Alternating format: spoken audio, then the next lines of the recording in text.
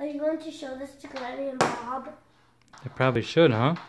Because you used to play it. Could you explain the setup you have there? It's Well, traditionally darts are done while standing. well, so when you got all the darts on, Mhm. you take them all off. So you got so you try to get it from where your hand is, flying this black spot. Okay. And What's the black spot called? the bullseye. Okay. And if you hit it here, you get 18.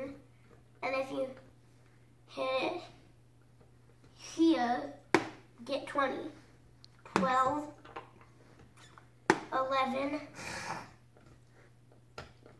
17.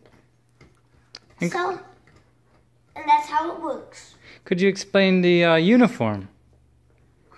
What uniform? The you know the the clothes you wear to play darts. Like I'm wearing Yeah, like you're wearing. just my underwear. Yeah.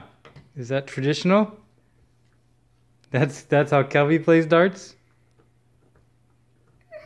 That's how Snoopy plays darts. All right, back to your starting spot. Let's let's see it in action now. Let's see a demonstration. Yep. Covered up with your blanket or is that for protection? That's just to keep me warm. Okay. All right.